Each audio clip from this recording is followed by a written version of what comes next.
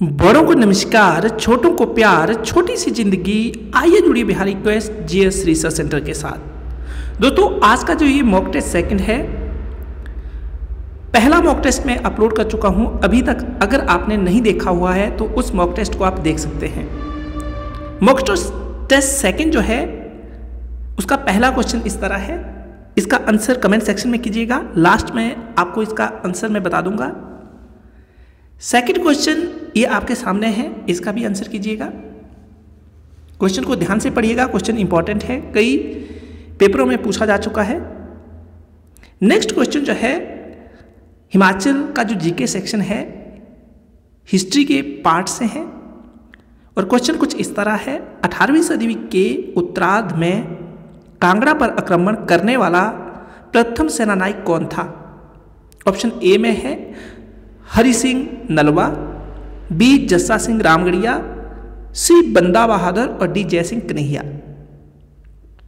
Important question है, कई पेपरों में पूछा जा चुका है। इसका सही आंसर बी होगा। बोलने का मतलब है जस्सा सिंह रामगढ़िया,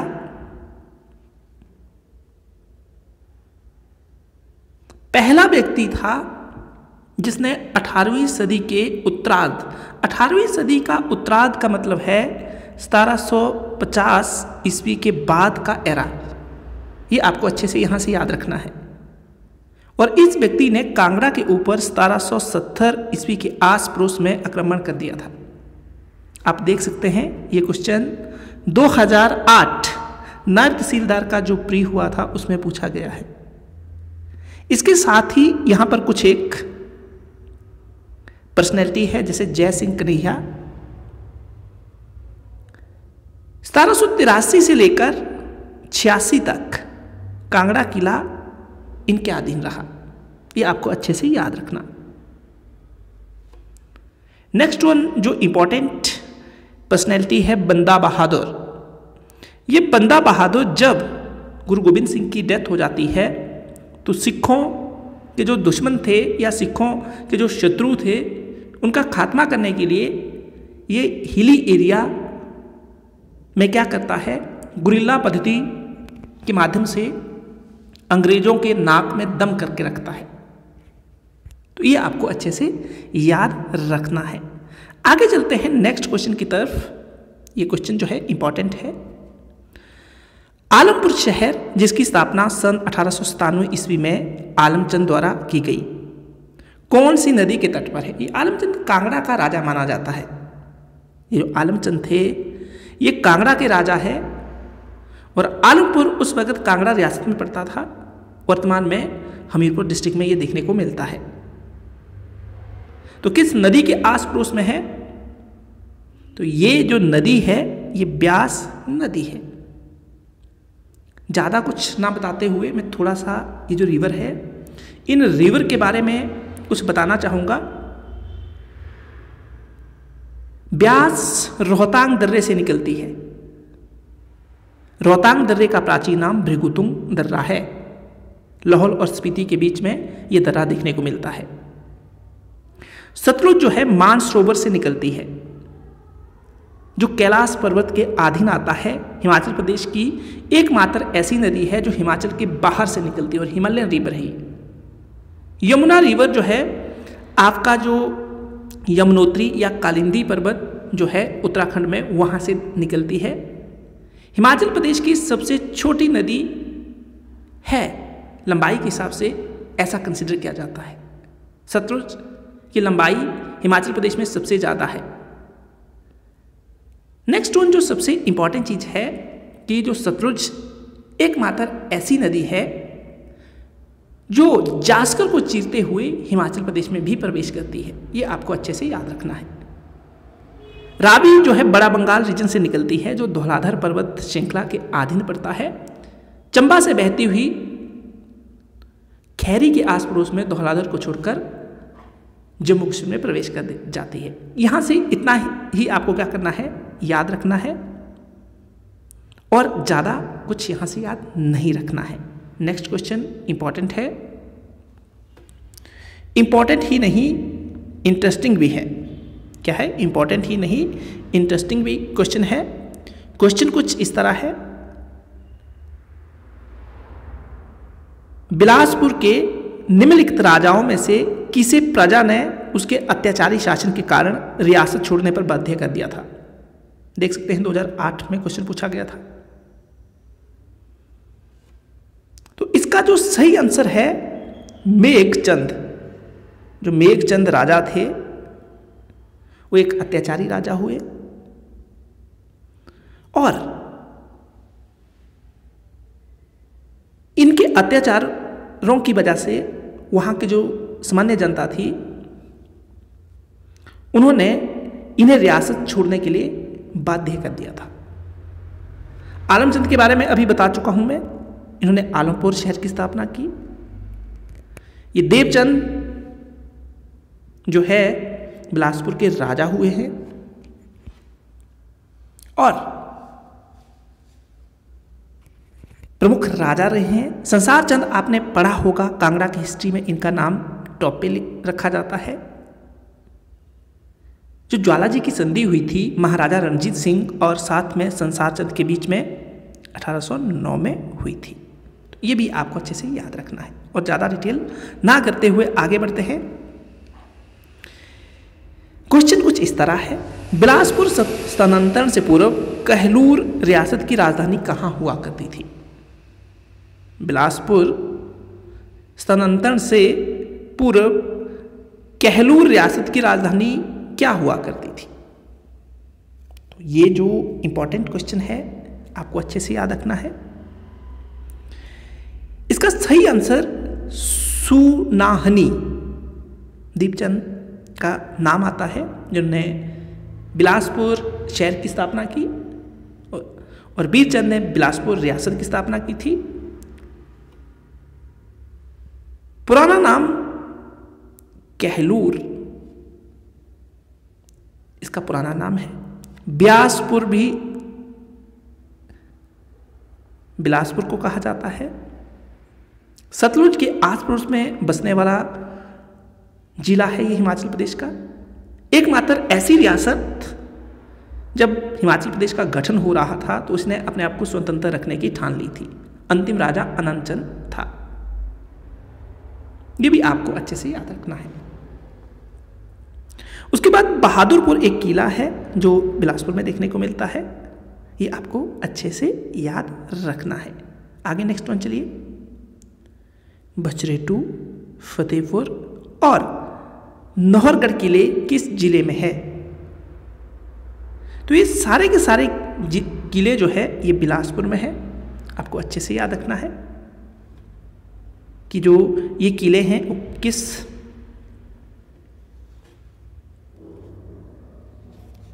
ज़िले में स्थित है, क्योंकि ये सारे के सारे किले जो हैं इंपॉर्टेंट हैं। क्या है ये? सारे के सारे किले इंपॉर्टेंट हैं। आगे क्वेश्चन है, चंबा के राजा उदय सिंह को गुलेर के किस राजा का अभिभावक बनाया गया? चंबा के राजा उदय सिंह को गुलेर के किस राजा का अभिभावक अभिभावक बनाया गया था? तो ये जो गुलेर का राजा दलीप सिंह था, उनका अभिभावक बनाया गया था। सिखों के बढ़ती हुई शक्ति के बावजूद ऐसा स्टेप उठाया गया था। उदय सिंह जो है काफ़ी इंपॉर्टेंट है। इनके टाइम में चित्रकला का विकास हुआ। साथ में माना जाता है कि इन्होंने नाई की एक लड़की थी, उससे प्रेम विवाह किया था। ऐसा चंबा की हिस्ट्री में लिखा हुआ है। चंबा की अगर बात करें चंबा शहर की स्थापना साहिल वर्मन ने की। साहिल वर्मन। चंबा को चंबा नाम दिया अपनी बेटी चंपावती के नाम पर। चकली सिक्का चलाया एक। साथ में इससे पहले ब्रह्मपुर इसका पुराना नाम हुआ करता था और मेरू वर्मन ने ब्रह्मपुर को चंबा रियासत की राजधानी बनाया था। सुई मेला, मिंजर मेला मणिमेश यात्रा, छड़ी यात्रा, यहाँ के प्रमुख उत्सव है। साथ में घुरई, यहाँ का एक लोक नृत्य और साथ में लोक गान है, घुरई। ये आपको अच्छे से याद रखना है। रावी नदी के आस पड़ोस में ये प्यारा सा बसा हुआ चंबा डिस्ट्रिक्ट है। हिमाचल प्रदेश का जब गठन हुआ तो चंबा सबसे पुराना डिस्ट्रिक्ट था। ये पुराने हिमाचल में कंसिडर किया जाता है। आगे चलते हैं नेक्स्ट क्वेश्चन जो है, उसकी तरफ़, भाऊ सिंह, मुरीद खां जिसने सोलह ईस्वी में इस्लाम धर्म अपनाया, किस रियासत का शासक था? तो ये नूरपुर रियासत का शासक था। औरंगज़ेब के समकालीन है, क्योंकि डेट लिखी हुई है, उनके प्रभाव से इस व्यक्ति ने इस्लाम धर्म को अपना लिया था। नूरपुर का पुराना नाम धमेड़ी, धर्म धर्मगिरी। यहाँ के जो मूल निवासी है, वो पठानियाँ, उनको कहा जाता है। इनका संबंध पांडवों से जोड़ा जाता है। और कई बार कुछ एक दंत कथाएँ परंपराएँ हैं, जो पठानियों को नाग के वंशज भी मानती है। ये भी आपको अच्छे से याद रखना है। कहलूर का मैं आपको विवरण कर चुका हूँ। गुलेर एक रियासत थी, हरि सिंह ने इसकी स्थापना की, कांगड़ा में पड़ती थी। और बनेर न्यूगल और बाण गंगा के आस संगम पर ये गुलेर जो रियासत थी, वो बसी हुई थी। वर्तमान में ये गुलेर गाँव के नाम से जानी जाती है। आगे चलते हैं। नेक्स्ट क्वेश्चन की तरफ़। क्वेश्चन इंपॉर्टेंट है। इंपॉर्टेंट ही नहीं इंटरेस्टिंग भी है। कुल्लू ज़िले में मलाना गाँव किसके लिए माना जाता है? विश्व का सबसे प्राचीनतम लोकशाहियों में से एक है, जिसमें 500 परिवार है। स्वतंत्र राज की एवं न्यायिक तंत्र। देवता जमालू की पूजा यहाँ होती है। उपरोक्त सभी। आपने आंसर कर लिया होगा। इसका सही आंसर जो है, घ है। उपरोक्त सारे के सारे सही है। ये सारे के सारे जितने भी फैक्ट है, आपके आने वाले पेपर के लिए इंपॉर्टेंट है।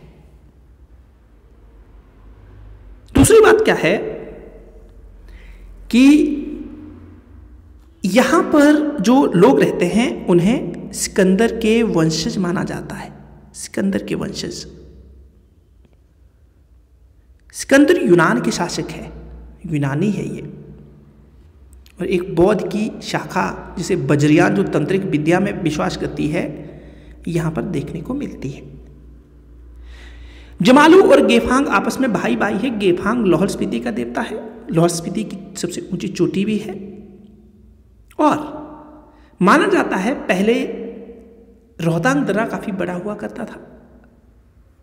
लाहौल स्पीति और जो कुल्लू के लोग थे, उन्होंने शिव से पूजा की मतलब शिव से प्रार्थना की। क्योंकि उन्हें इस दुर्गम दर्रे को पार करना काफ़ी मुश्किल होता था। तो हुआ क्या? शिव प्रसन्न हुए, उन्होंने उनकी बात स्वीकार कर ली और रोहतांग दर्रे के ऊपर से एक रास्ता बनाया। अपनी टिशूल के माध्यम से ऐसा किया। और रोहतांग दर्रा टूट गया और टूटने के बाद पहले ये जमालू और जो गेफांग का निवास रोहतांग दर्रे में हुआ करता था। एक भाई स्पीति की तरफ़ लाहौल स्पीति की तरफ़ चला गया और दूसरा कुल्लू की तरफ़ आ गया। ऐसी मान्यता, ऐसी दंत कथाएँ ऐसी किवदंतियाँ आपको हिमाचल की हिस्ट्री में देखने को मिलती है। तो आई होप आप ये भी अच्छे से समझ गए होंगे। ब्यास नदी के आस पड़ोस में ये बसा हुआ है। मलाना एक खड भी है जो ट्रिब्यूटरी है किसकी? ब्यास के। साथ में मलाना भाँग की खेती के लिए काफ़ी प्रसिद्ध है। ये, यही चीज़ें आपको यहाँ से याद रखनी है। आगे चलते हैं। सलारी पत्थर लेक काफ़ी इंपॉर्टेंट है। कुल्लू का क्या महत्व है? देखो, पहला तो क्वेश्चन आपको यहाँ से एक ये सीखने के लिए मिल रहा है कि जो सलारी पत्थर लेक है, सलारी पत्थर लेक ये कहाँ पर स्थित है? किस डिस्ट्रिक्ट से इसका संबंध है? इसका महत्व क्या है? तो ऑप्शन पढ़ते हैं। इसमें गुप्त शासक कुमार गुप्त और स्कंद गुप्त के अभियानों का विवरण किया है। हूण आक्रमणकारियों के विश्वांस का विवरण देता है। इसके अनुसार गुप्त शासक चंद्रगुप्त ने पहाड़ी शासकों से सैनिक सहायता प्राप्त की। हर्षवर्धन के काल में हिमाचल में शांति और समृद्धि की प्रशंसा की गई है। इसका सही आंसर जो है, वो ग है। क्या है? इसका सही आंसर ग है। इसके अनुसार, गुप्त शासक चंद्रगुप्त ने पहाड़ी शासकों से सैनिक सैन्य सहायता प्राप्त की थी। अभी जो चंद्र गुप्त है जो चंद्रगुप्त है, ये गुप्त वंश का शासक है। ये आपको अच्छे से याद रखना है। अगर श्रीगुप्त ऑप्शन में ना हो तो चंद्रगुप्त को गुप्त वंश का संस्थापक भी माना जाता है। गुप्त वंश को स्वर्ण काल कहा जाता है अपनी कला और संस्कृति के लिए स्वर्ण काल और मूर्ति पूजा का जो आरंभ हुआ, मंदिर बनने का जो आरंभ हुआ, वो गुप्त काल से माना जाता है। आई होप आप अच्छे से समझ गए होंगे कि ये जो क्वेश्चन था आपके लिए कैसे इंपॉर्टेंट था। आगे नेक्स्ट वन क्वेश्चन है, कुल्लू के किस राजा ने 780 से 800 ईस्वी के बीच कुल्लू को चंबा के नियंत्रण से मुक्त करवाया? क्वेश्चन काफ़ी इंपॉर्टेंट है। रामपाल, परमपाल, सरसपाल, जरेश्वरपाल। तो उस वक्त जो राजा था कुल्लू का जारेश्वर पाल है और ये साहिल वर्मन के समय की बात है। साहिल वर्मन के समय की बात है। कुल्लू के किस राजा ने जो ये डेट दी हुई है, इसके बीच कुल्लू को चंबा के नियंत्रण से मुक्त करवाया था तो वो कौन थे? साहिल वर्मन जो उस वक्त चंबा के राजा हुआ करते थे और जारेश्वर पाल जो कुल्लू के शासक थे, उन्होंने ऐसा किया।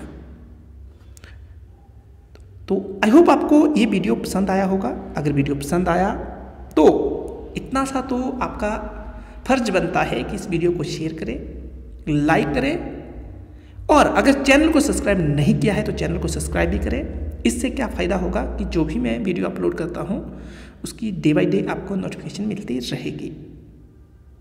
आगे नेक्स्ट वन क्वेश्चन जो है, कांगड़ा से टूटकर बनने वाली पहली रियासत कौन सी थी? काफ़ी इंपॉर्टेंट है। ए जसवा रियासत, बी धमेरी रियासत, सी सिब्बा, डी कुटलहर रियासत। तो इसमें से कौन सी रियासत थी जो कांगड़ा से टूटकर बनने वाली पहली रियासत थी? तो इसका जो सही आंसर है, जासवा रियासत। जसपाल इसके संस्थापक माने जाते हैं, जसपाल। उसके साथ कुटलहर जो थी, कांगड़ा की सबसे छोटी रियासत थी। वर्तमान में जासवा रियासत जो है ऊना का पार्ट माना जाता है। आपको पता है? और एक स्वा नदी भी है जो ऊना का शोक कहा जाता है जिसको ये आपको अच्छे से याद रखना वर्तमान जो ऊना है वो जासवा रियासत का पार्ट हुआ करता था। जी आपको अच्छे से याद रखना है। ऊना का पुराना नाम सोनभद्रा है। सोनभद्रा, यहाँ की प्रमुख नदी स्वा, जिसे ऊना का शौक कहा जाता है। और ये मानसून टाइप की एक रिवर है।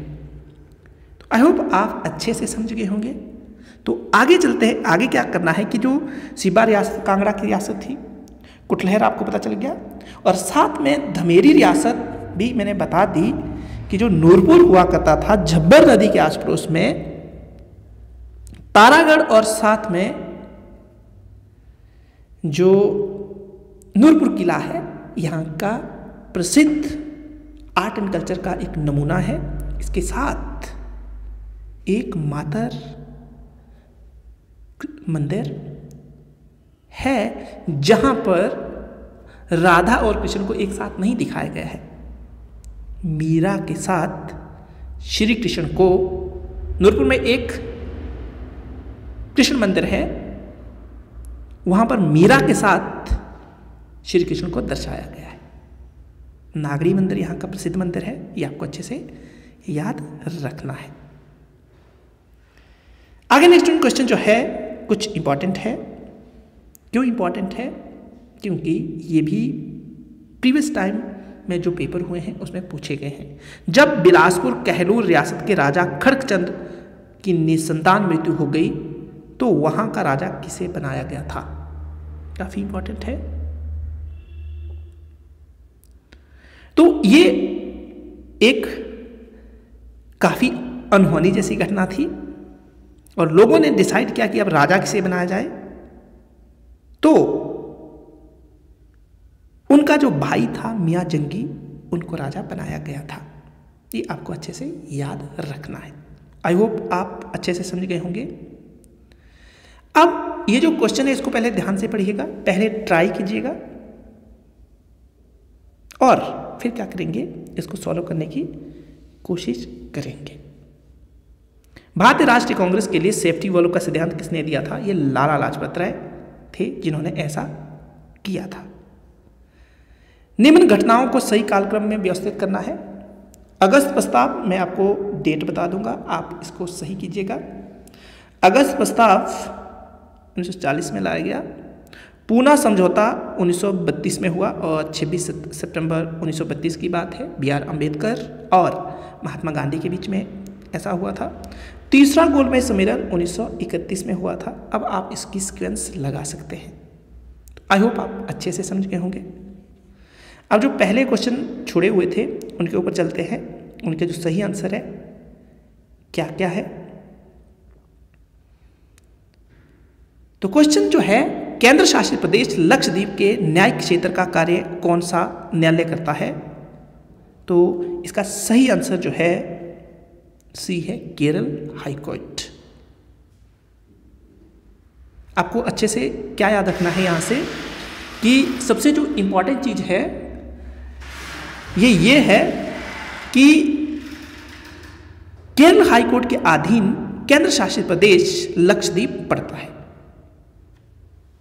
लक्षद्वीप का पुराना नाम लक्का द्वीप हुआ करता था।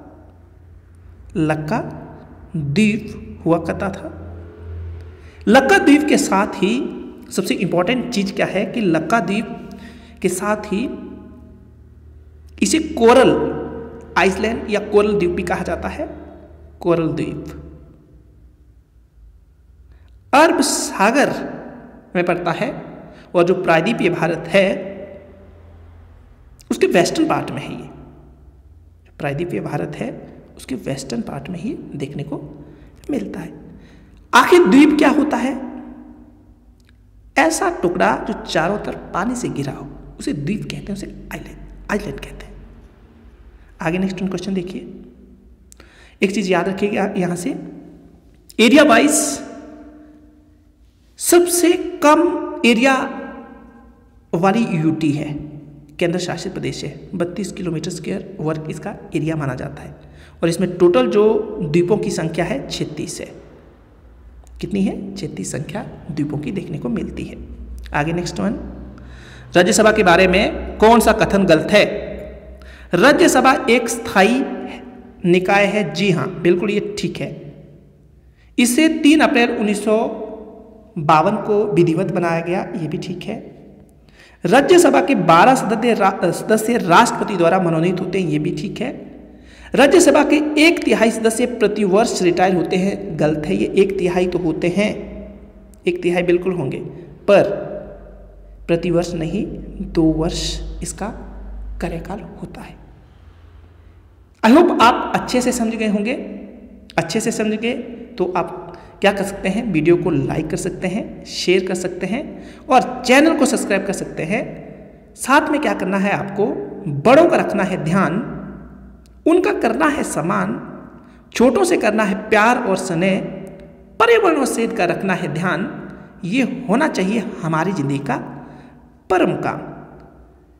धन्यवाद। जय हिंद।